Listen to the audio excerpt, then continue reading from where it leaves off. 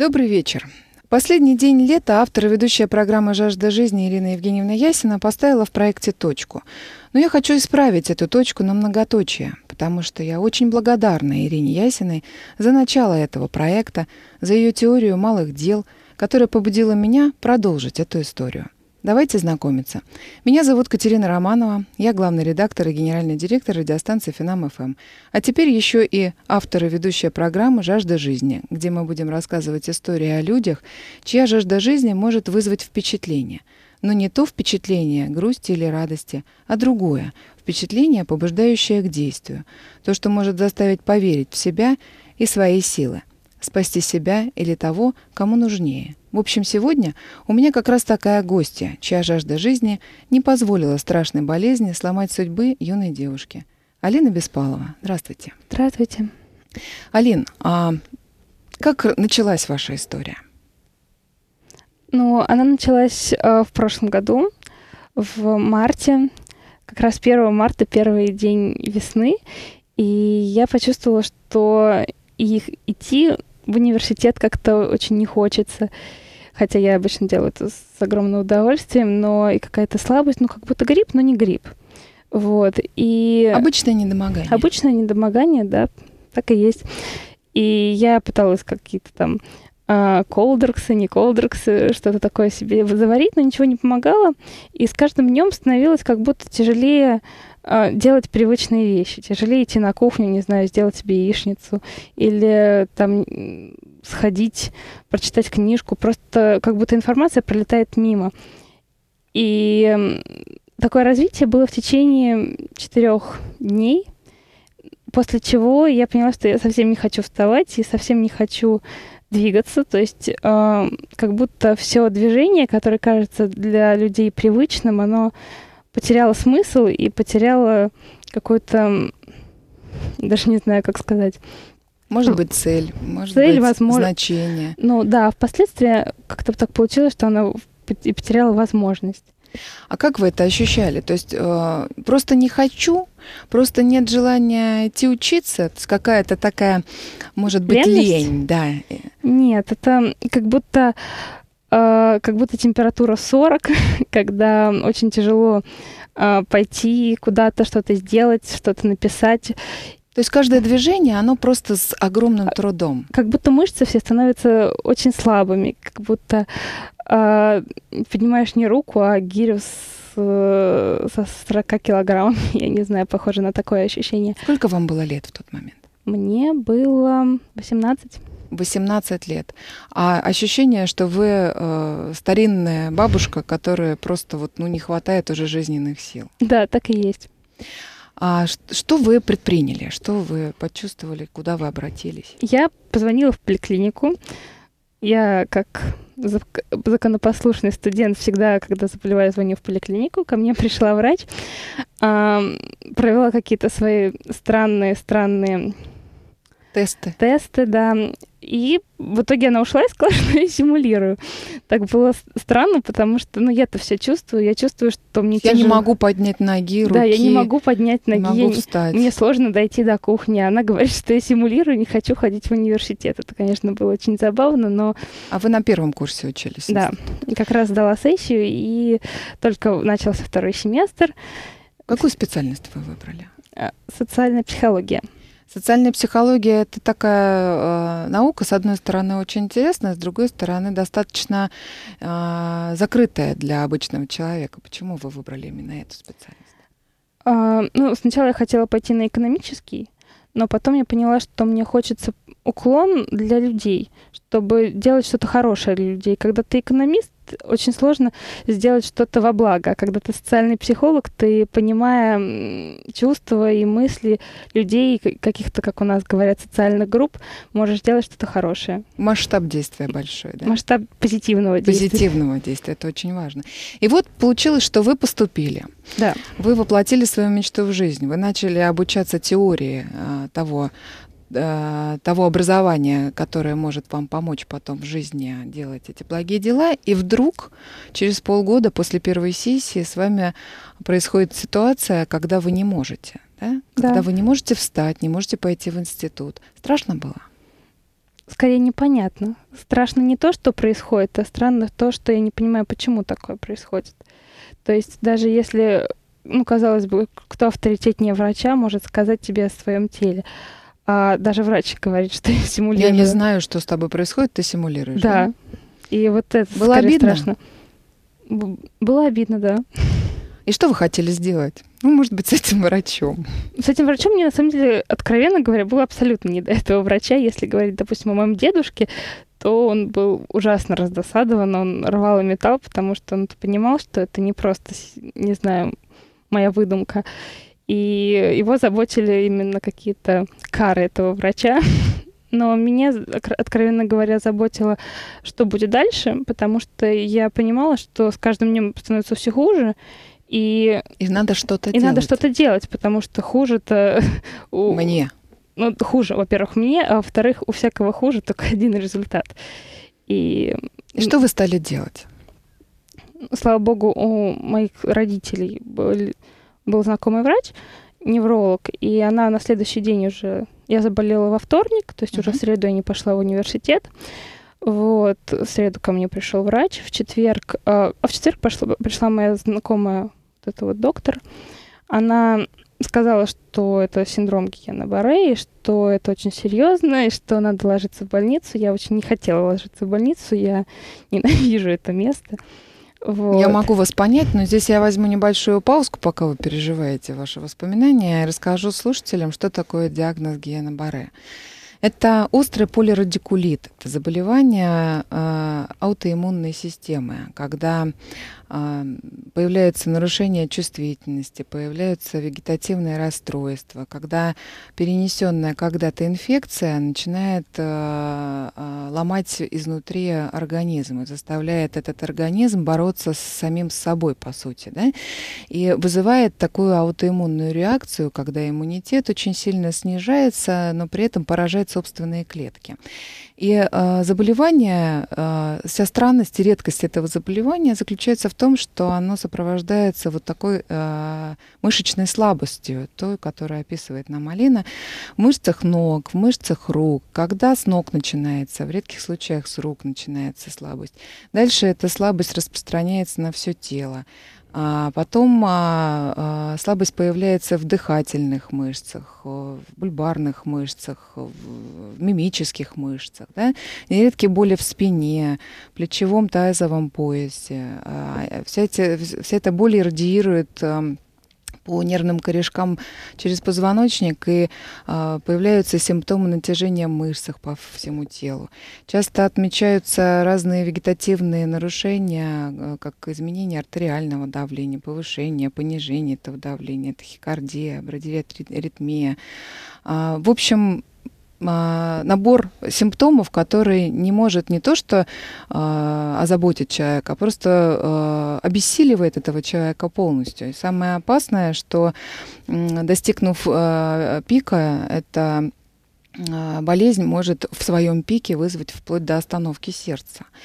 А, так вот, достигнув пика, симптоматика стабилизируется, начинается восстановление, которое потом не менее двух лет а, мучает больного в том случае, если его прогноз был благоприятный. Он выжил, и его организм не запустил никакой смертоносной реакции. Так вот, а, смерть, а, возможно, от дыхательной недостаточности. Она связана с параличом дыхательного или бульбарного нерва. А, ну, представьте себе, когда язык, подъязычная э, мышца, глоточные мышцы фактически атрофируются, они не могут работать, не могут действовать. Соответственно, эти все реакции очень опасны для здоровья.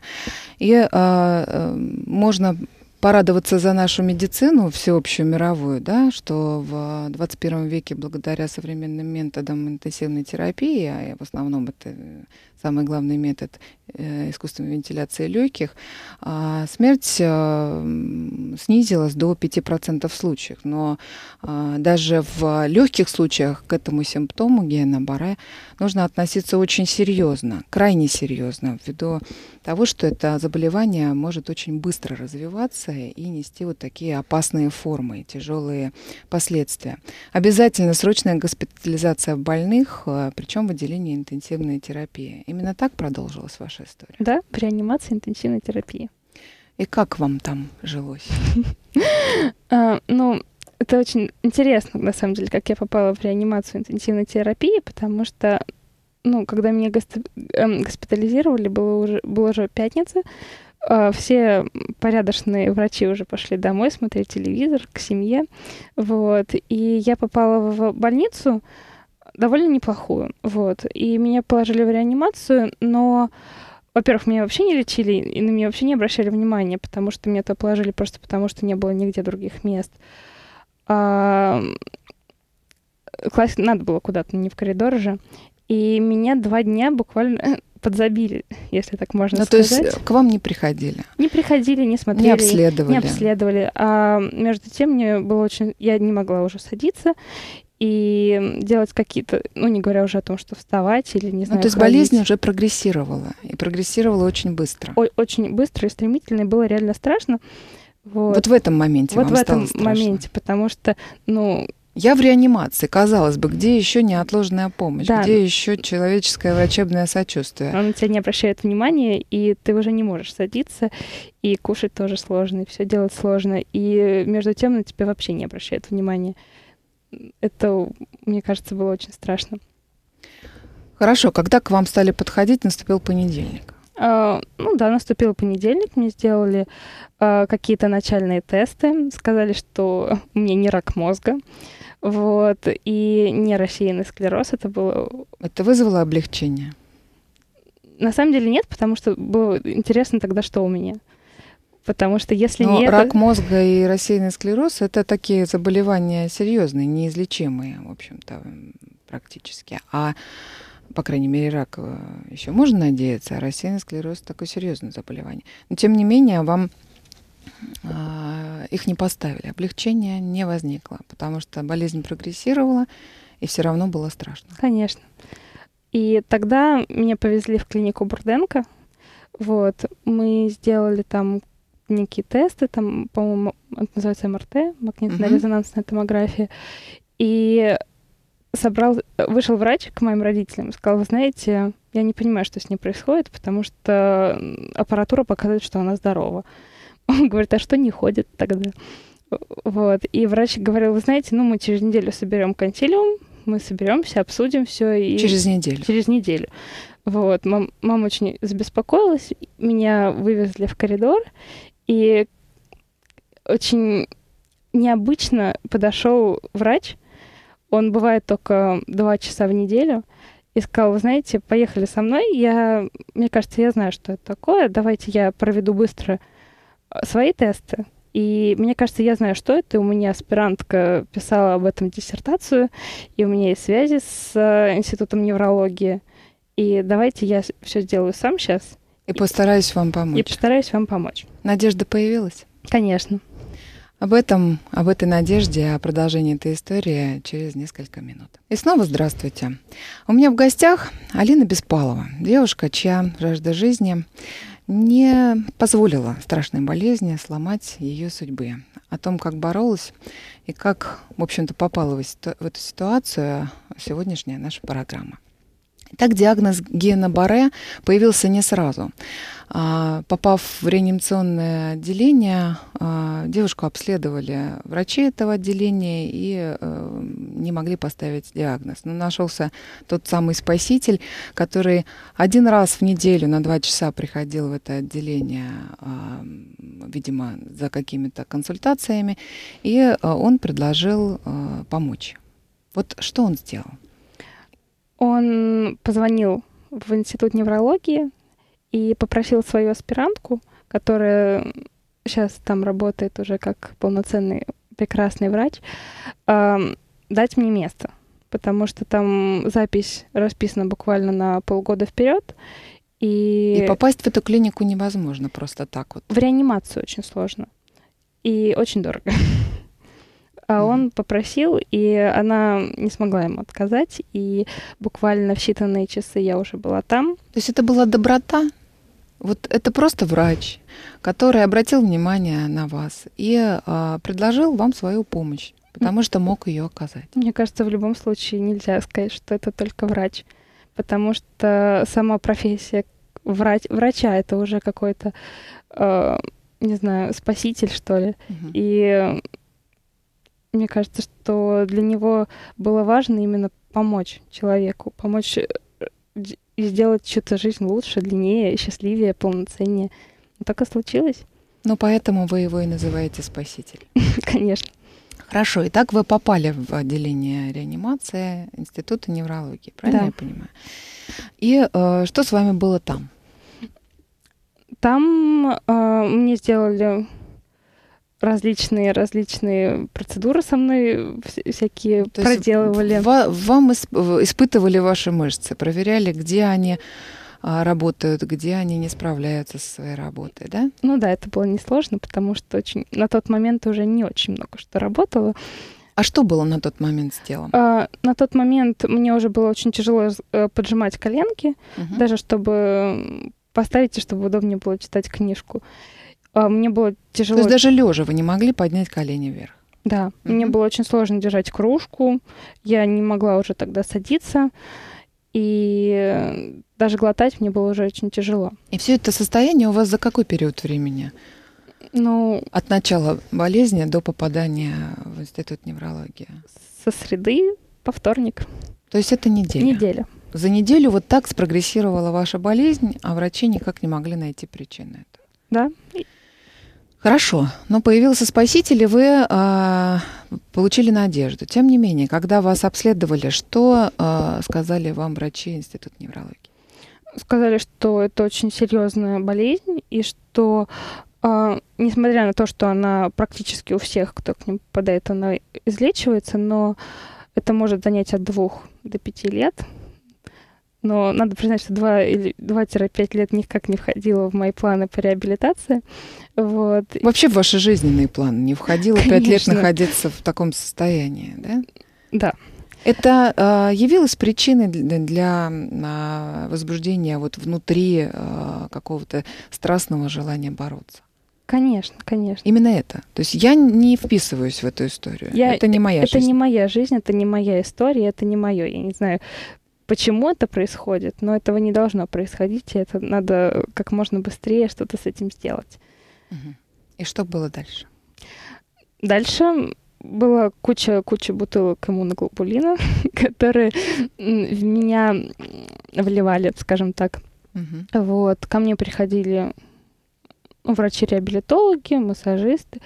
Вот. Это было всегда для меня большой радостью, потому что в реанимации все ходят хмурые, такие недовольные, а врачи-реабилитологи, они всегда позитивные, всегда с какими-то приятными шуточками, прибауточками. Я их всегда очень ждала. Они вселяют надежду еще больше? Конечно. Надежда на выздоровление. Да, потому что раз они возятся и заставляют тебя делать гимнастику, значит, они верят, что ты поправишься. Ну, мы поподробнее о гимнастике поговорим чуть Конечно. позже, а пока для понимания слушателей, э, в том числе, как проходит заболевание и лечение его, вот а, нельзя много говорить, да, потому что дыхательные и мышцы глотки э, участвуют в этом процессе. Нельзя кушать, да, а, обычным путем, то есть еда была через трубочку какое-то время. Это только поначалу ну, поначалу. Тем не менее, это самое острое начало вашей истории. А для лечения назначают плазмоферез и иммуноглобулины, да, то есть чистят кровь и а, заливают большие дозы иммуноглобулинов, которые восстанавливают иммунную систему. Правильно? Ну, или-или. Или-или. Что еще делали? Что еще делали а, для того, чтобы ускорить? Назначили гормоны, например. Да, но мы быстро от них отошли. Отказались? Ну, врачи сами их, их сняли. То есть попробовали, э, нету эффекта и убрали. Я не знаю, по какой причине их убрали, ну, но их убрали. Кортикостероиды вообще, в принципе, не всегда помогают. Поэтому, когда нет эффекта, какой смысл мучить организм? Совершенно согласна. А вот было в вашем случае закапывание глазных капель, например? Нет. То есть ваша роговица, слава богу, не подвергалась никакому, а, никаким атакам. А, делали вам электростимуляцию? Да, но это уже было после, это уже когда началась реабилитация, поначалу нет. Ну, интересный момент этого заболевания, что оно прогрессирует очень быстро, доходит своего пика, а потом отступает. И вот здесь начинается как раз этот процесс, который вы называете реабилитацией, да? Да. То есть все, болезнь сделала свое черное дело, теперь надо восстанавливаться. Как этот процесс проходил? Что вы делали? Ну, надо, надо сказать, что несмотря на то, что в марте мне уже предложили все лечение, которое было необходимо на тот момент, тем не менее, мне все равно становилось хуже. Медленнее, но хуже. То есть иммуноглобулин, он, конечно, э, замедлил. замедлил, но он не дал выздоровления. Угу. Вот. И вплоть до июня мне становилось потихонечку, но все равно я чувствовала, что что-то происходит именно в сторону ухудшения. А как, а как это вы чувствовали? То есть слабость усиливалась, не было возможности делать еще какие-то. То есть каждый какой-то вот там день, неделя вашей жизни, она все время отягощалась этим состоянием. Ну, да, и так, конечно, но, допустим, у меня были подвержены нападку моего же организма мимические мышцы. Мгм. Они, конечно, довольно быстро стали восстанавливаться, но если мы гов- говорить о ногах, то в них, если сначала там был- было какое-то минимальное движение, то к июню оно становилось слабее и хуже, так же, как и спина. И все больше сил требовалось для того, чтобы э, сделать какое-то движение, правильно? Ну, скорее, их просто не было на него. То есть не было сил совершенно. То есть вы были лежачим совершенно человеком. Абсолютно. В 18 лет. 18 лет. Ужас. Что было дальше? Магнитотерапия, массаж, электростимуляция. А, Пока я лежала в институте неврологии, а, я... Меня потом перевели уже из реанимации в обычное отделение. Это, конечно, было приятно. У меня получ- появилась прекрасная подруга. Вот, она была моей сиделкой. Вот, и мы с ней очень спелись. Она прекрасно, она всегда мне помогала, защищала меня от всех, отбивала.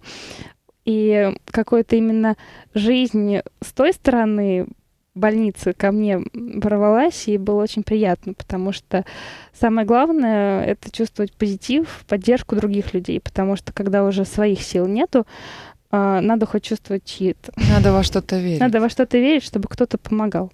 Ну вот вы говорите, вам помогали подруга-сиделка, которая изначально была сиделкой, потом стала подругой. Вам помогал доктор-спаситель, который на два часа приходил в э, поликлинику, и его аспирантка, которая стала прекрасным врачом. А родители, как они к этому относились? Ну, маме было очень сложно. Вот. Она очень сильный человек, но ей было очень сложно смириться с этим, потому что э, у врачей всегда очень негативные прогнозы, потому что, ну, как мне кажется, им сложнее подготовить к чему-то страшному, нежели чем обнадежить чем-то хорошим и быстрым.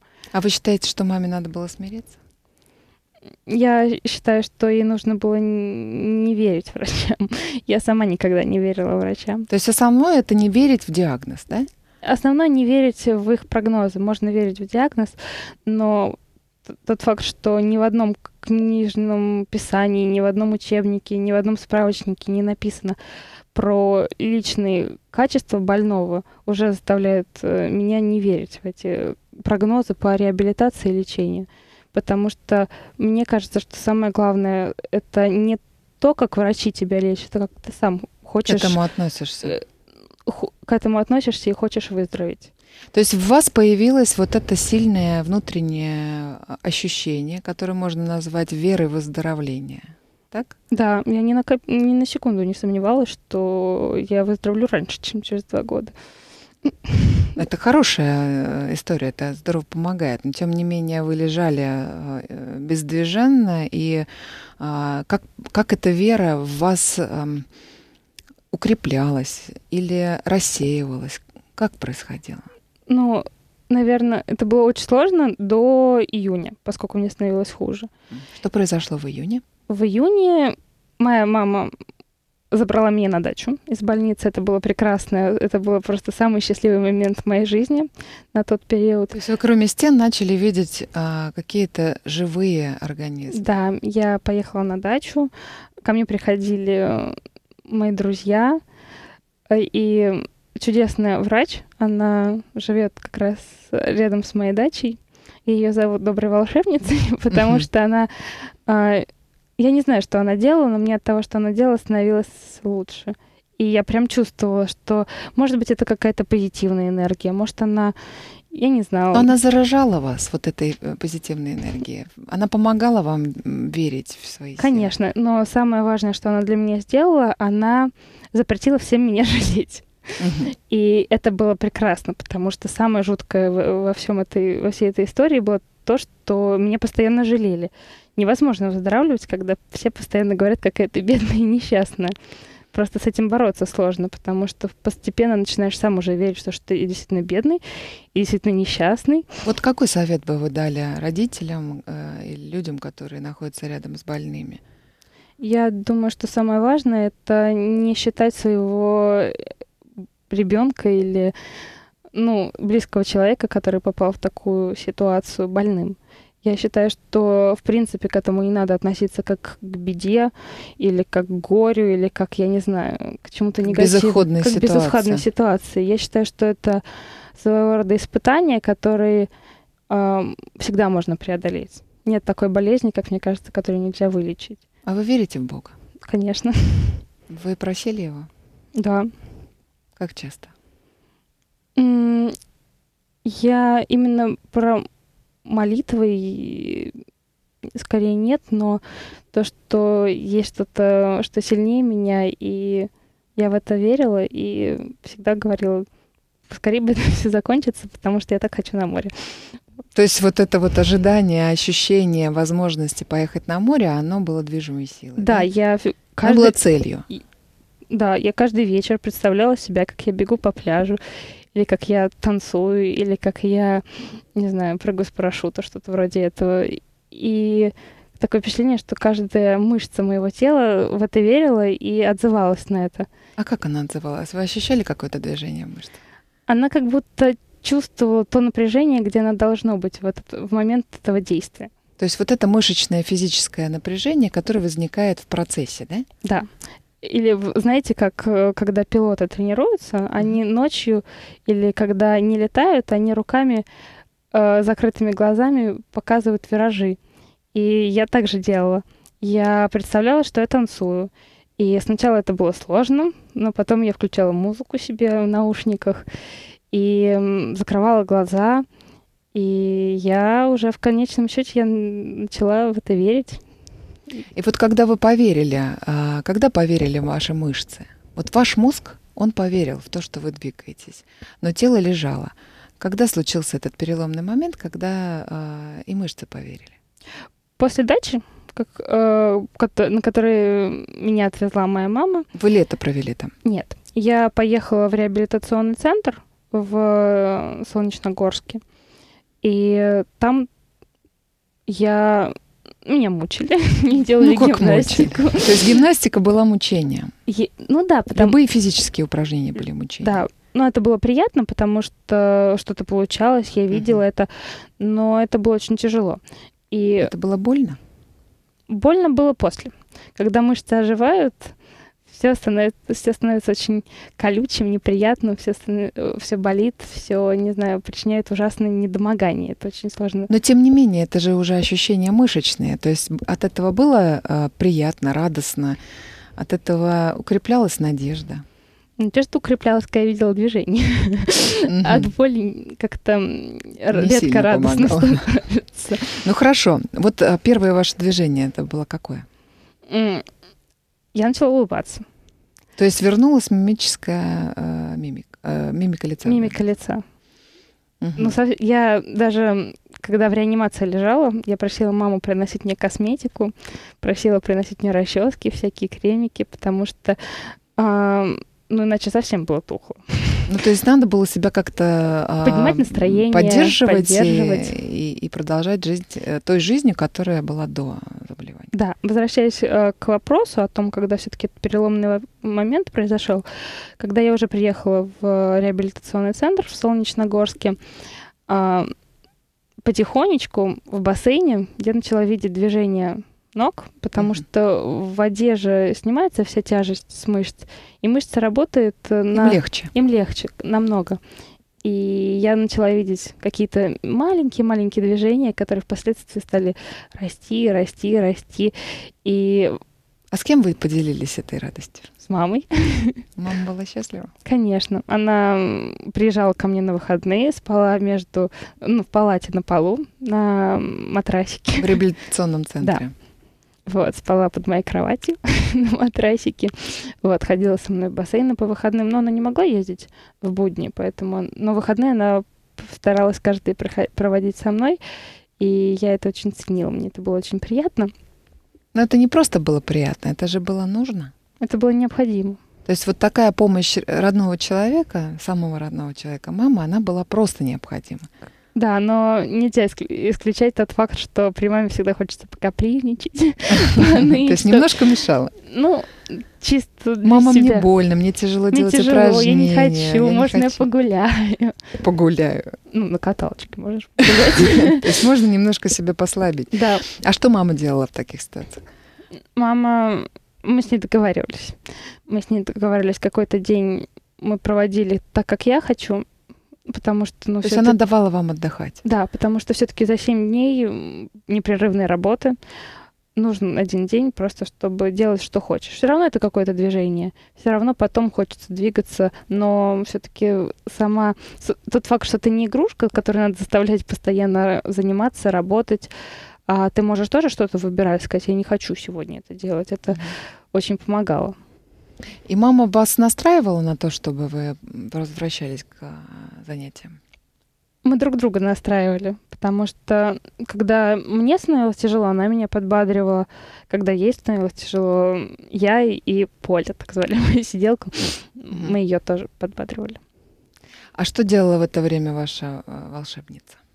Она была, в, она была на даче, ну вот она там живет, и я ей звонила, говорила о своих успехах она, наверное, был единственный человек, который меня не жалел. Именно в упражнениях. Потому что... Вот, вот ты это сделал, давай еще. Да, потому что она говорит, вот я тебе, к тебе сегодня прихожу, ты должна сесть. Я говорю, как я должна сесть? Я не могу сесть. Она говорит, ну вот, видишь, два ремешка у кровати. Бери их руками, подтягивайся и садись. Вот, это было очень больно, то есть я около полутора месяцев, наверное, это делала. Ну, безуспешно, но делала. Угу. Вот. Главное и, было не останавливаться. Главное не останавливаться. И это было тяжело, потому что, ну, и больно, и как-то, не знаю, мозг говорит, что ну как же на холодные мышцы еще потянешь что-нибудь, давай лучше полежим, как-нибудь потом все исправится. Вот, я... А море? А море, а, а, а море шумело. А море, море шумело в ушах и заставляло, и заставляло двигаться. И, и да... заставляло тянуться к ремням угу. и садиться на кровати через и... боль, через страдания. Когда у меня уже все получилось, когда я все-таки села, я сама подтянулась, я похвасталась маме, я позвонила волшебнице, сказала, знаете, я села. Она такая, ну здорово, приезжай, тебе новые задания дам. Мне так было обидно, она даже не посмотрела, как я это делала, и говорила, ну все, теперь давай вставать на ремнях. Я говорю, ну как вставать, что, я, я не могу. Она говорит, ну сейчас поставим, не переживай. Вот, и это было очень непонятно, потому что все меня жалели, а она нет. Ну, меж тем, это ее сухость вроде бы и помогала в большей это, степени. Это не сухость, это ни в коем случае не сухость, это... Ну, такая правильная сухость. Это правильная... Не, не, не допуск э, вот этих неправильных эмоций, да? Не, не допуск, да, не допуск слабины, потому mm-hmm. что человек нам может намного больше, чем он думает. И то, что пытаешься выжить его до конца, это и ведет к результату. Ну, а продолжение этой истории через несколько минут. И снова добрый вечер. В эфире программа «Жажда жизни». Меня зовут Катерина Романова, а гостья моя Алина Беспалова. Девушка, чья жажда жизни в очень молодом, можно сказать, совсем юном возрасте, а, достигшем совершеннолетия, а, тем не менее помогла Алине встать на ноги после очень серьезного, сложного и практически в некоторых случаях смертельного заболевания. Диагноз, который поставили Алине, синдром Гиена Баре. Итак, а, вот а, успех, который вы испытали с помощью ваших ремешков, вы сели на кровати. И задача, которую поставила вам ваша помощница, доктор, которая помогала вам реабилитироваться, ту, которую вы называете волшебницей. И следующая цель — встать. Как вы шли к этой цели? Я с тех пор, как начала сама сидеть на кровати, я пыталась никогда больше не ложиться. Я до сих пор очень так нервно отношусь к лежанию. К лежанию. То есть ты устала, ляг полежи, это самое страшное, что я могу, наверное, услышать. И поэтому я с тех пор я не люблю лежать. Я сидела, я когда появлялось хоть какое-то движение, я старалась его как расшатать, как будто, не знаю, как занозу, которая засела, и чтобы ее вытащить, надо сначала подергать чуть-чуть, а потом уже вытащить. И как только я нач... научилась там болтать ногами или, не знаю, поднимать какие-то гантельки, я привязывала себе на ручки такие вот утяжелители специальные и делала очень многие движения именно с ними. То есть просто постоянно э, двигаться? Постоянно двигаться. Если преодолеваешь какое-то сложное упражнение, значит добавлять вес, значит добавлять еще другое упражнение и постоянно идти вперед, правильно? Да. Что вами двигало в тот момент? Все то же море или э, уже уверенность в себе, что я почти справилась, у меня осталось совсем чуть-чуть? Мной двигало то чувство, что раз врачи говорили, что это будет вначале так сложно, а мне было вроде как на тот момент мне казалось, что самое сложное уже позади, и впереди теперь только лучшее, только легкое, только приятное. И я стремилась побыстрее пройти эту тяжелую дорогу реабилитации и поскорее уже заняться чем-нибудь приятным. Потому что я видела, что есть результат, есть движение, и то, что он идет очень быстро. И мне все это очень нравилось. И я плавала, не знаю, каталась. Ну, меня катали, конечно, вот, с большой скоростью. Я просила побыстрее. Поэтому мама приходила вся мокрая. Ралли на колясках, да? Да. Вот. А какие эмоции вы испытывали в тот момент, когда вы вот так катились? Это я, поскольку катаюсь на лошадях, езжу на велосипедах, и любое ветер в лицо у меня вызывал именно вот те приятные воспоминания, которые, которые рождает спорт. Угу. И, и эти воспоминания, эти ощущения хотелось переживать снова и снова. Угу. Они помогали. Угу. А кто вас так быстро катал? А, мама, так. Поля, потом ко мне приезжали друзья. Это было очень смешно, потому что а, я... Мы с самого начала, вот, не знаю, если кто-нибудь когда-нибудь, не дай бог, видел колясочку такую инвалидную, все знают, что у нее сбоку ру- есть ручки. Мы их отстегнули еще, наверное, через месяц. Вот. Э, это было интереснее, потому что это укрепляло спину. Мы положили туда такую специальную, как шарик, чтобы было некомфортно сидеть, надо было постоянно Ну, как-то, как-то двигаться, как, да? Да, ну, ортопедическая такая штучка, не знаю, как она называется. Вот, и когда ко мне приезжали друзья, они устраивали гонки. Мы гоняли по коридору с крутыми разворотами, и это было очень весело. Ну, вот это веселье все равно э, давало силы к дальнейшим тренировкам? Или это было просто такие перерывчики? Это были перерывчики. Если честно, я не любил, когда ко мне приезжают, потому что это были мои, хоть несмотря на то, что это были мои друзья и очень близкие люди, которые меня любили, которые пытались поддержать меня, но мне казалось, что у них в голове какие-то неправильные мысли, то, что они уже готовы, не знаю... Смириться с вашей Смириться ситуацией. с моей ситуацией, то, что они уже подписались на то, чтобы катать меня вокруг прудика на колясочке и поднимать на лифте. А вы с ними об этом говорили? Нет. Я не такая я всего добьюсь. Нет, мне просто было неприятно, и не хотела их обижать, потому что приезжают, э, проведывают, проведывают mm-hmm. дарят цветочки, конфетки. Но это тоже могло служить стимулом вам, а, чтобы преодолеть этот недуг? Да, я очень хотела от них отвязаться, потому что мне не нравились эти сожалеющие взгляды, какие-то слова утешающие, ну ничего, потерпи, моя хорошая, все будет хорошо. И мне это очень не нравилось. Это злило? Это злило, это было неприятно я понимала, что люди постараются как лучше, но мне было очень неприятно, что они так говорят, и мне очень хотелось от них поскорее отделаться, и это тоже меня подстегивало, потому что я видела, как они там, не знаю, э, приезжают, выходят, э, ходят, ходят бегают. бегают со мной, возятся, и тем не менее говорят мне, ну, потерпи, ничего страшного, со всеми бывает. Я же там, не знаю, готова с тобой там гулять. И вы продолжали заниматься. И я, я хотела их материть нос. То есть задача была такова. Я справлюсь, я смогу, и я пробегу еще дальше, чем вы видели. Да. И получалось? Сначала нет Потом, как, как только я уже... Я не могла там сидеть безвылазно в этом реабилитационном центре, несмотря на то, что мои родители очень старались. Вот. Меня все равно забирали на несколько недель в, э, на дачу. Mm-hmm. Вот. Это давало мне больше сил, больше уверенности, потому что но с а. каждым таким э, отъездом у вас появлялись новые э, прогрессивные шаги. Да, и я, допустим, вначале я сидела в одной комнате, потом меня я ездила уже по всему дому, угу. потом в августе меня привезли на дачу, потому что у меня 7 августа день рождения, и отмечать ее в больнице, его в больнице Было я совсем не хотела. И моя мама на этом настояла, потому что как-то, ну, это неправильно. И мы не хотели портить традицию, и я его отметила дома. То есть вы отменили болезнь на этот день и отметили день рождения на с неделю. семьей, с друзьями, даже неделю. На неделю. Целую неделю вы гуляли день рождения. Да, я меня мне давали ползать по травке или сидеть на солнышке, отгоняя мух. Потом, не знаю, из меня мой брат делал Джон Леннона. И очки разные примерял. Очки, шляпы, музыку. Угу. Вот. И мне, ну, мне это было приятно, но все равно мне до конца не нравилось чувство игрушки. Угу. Вот, потому что кто-то может делать со мной то, что я не хочу. Или, ну, что-то ну, делать. Что-то делать. Что-то делать. Угу. Вот. И, и как вы боролись с этим? Что вы меняли? А я постоянно делала зарядку.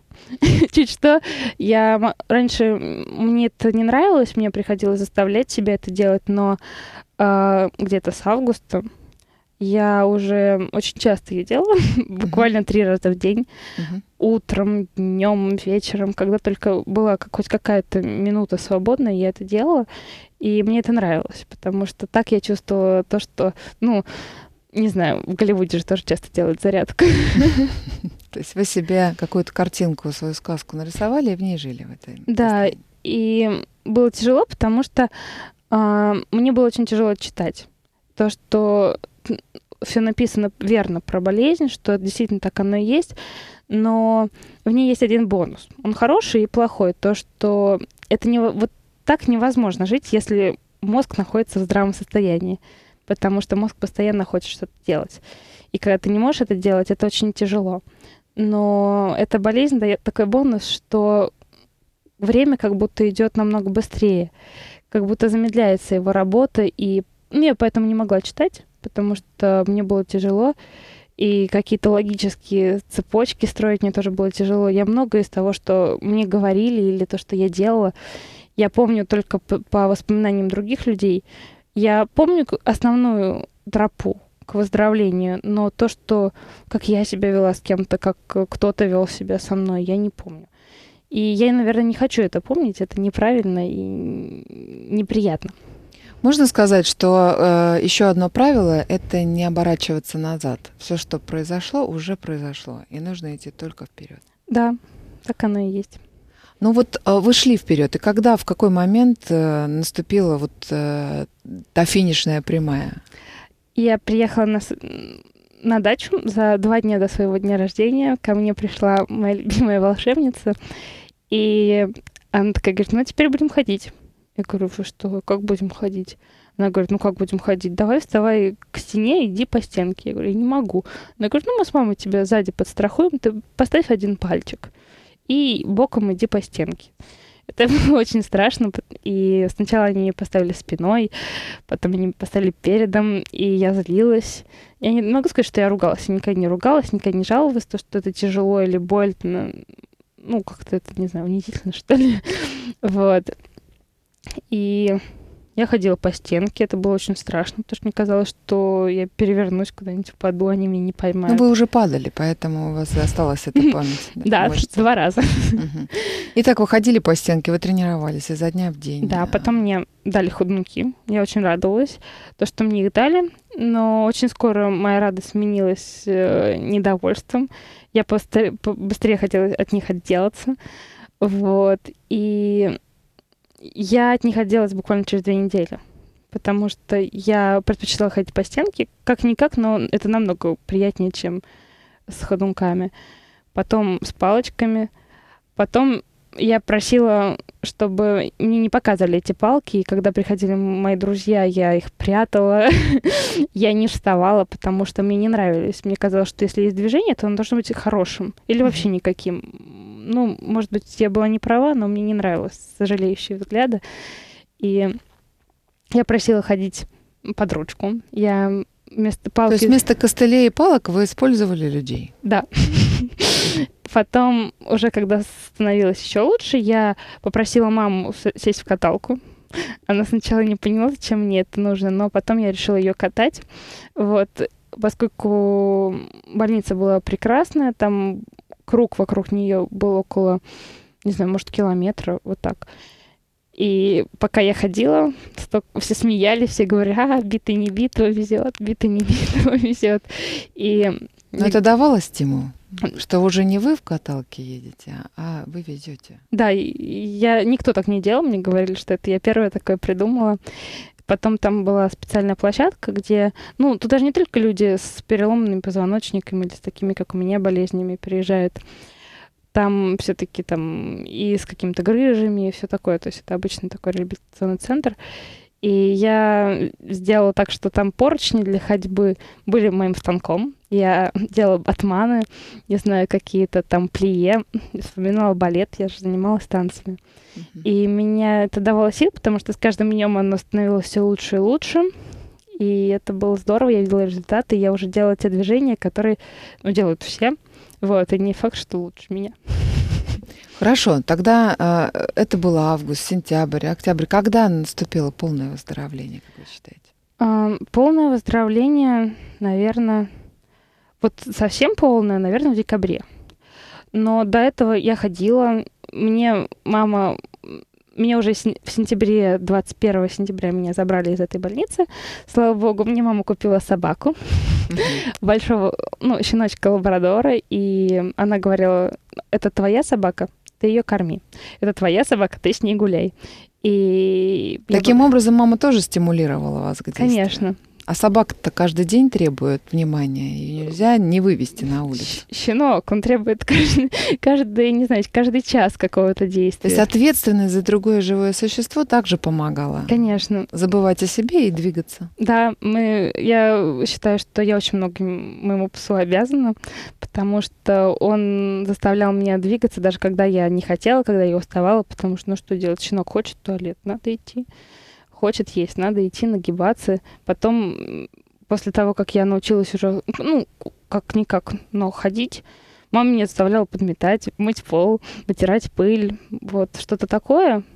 И это было очень тяжело. И я говорила, мам, я же болею, что ты делаешь -то? Зачем мне заставлять? Уже включались эти механизмы. Себя пожалеть. Себя пожалеть. Зачем мне подметать пол? Я не делаю это полгода, я болею. Он говорит, нет, подметай пол, и все. Вот, хочешь танцевать, подметай пол. Так и делала. И в декабре вы совершенно почувствовали, что все, вы можете э, действовать э, во все стороны. У вас нет ограничений движений. Да? Я пошла на танцы сначала, на балет. Вот. И единственное, наверное, что мне оставалось, у меня очень слабо работала стопа. Я не могла бегать. То есть я могла ходить, но как медвежонок, и это было некрасиво, неприятно, и я решила пойти на балет. Ну, что самое, кто самый грациозный? Балерина, mm-hmm. конечно. Вот. И я с ними занималась. Но я, правда, оттуда ушла, потому что меня жалела тренерша. Вот. Была большой ошибкой сказать ей, что я болела, потому что она говорила, ну, ты можешь этого не делать. Угу. И мне это не нравилось. И потом я вернулась... Делала на зло. Делала на зло. Я вернулась в бальные танцы, я ими занималась еще до болезни. И свою жизнь, если честно, я не мыслю без них. Мне очень нравится ими заниматься. И когда я пришла, я, я пошла к абсолютно новому тренеру, которого я не знала, который не знал меня. Она сказала, слушай, а что у тебя с ногой? Ну, ты ходишь? Ну, я говорю, ты сломал когда-то. Uh-huh. Она говорит, ты что? Я говорю, ну, я просто сейчас ее быстренько разработаю, и все будет нормально. Ну, и...